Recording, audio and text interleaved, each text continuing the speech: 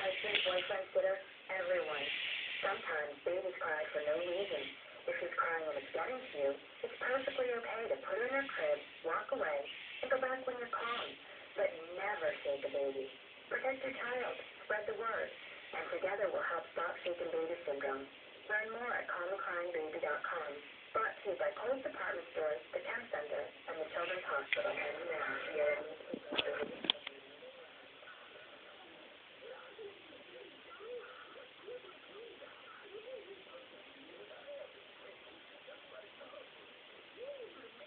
you're actually listening to my exhaust fan in the bathroom.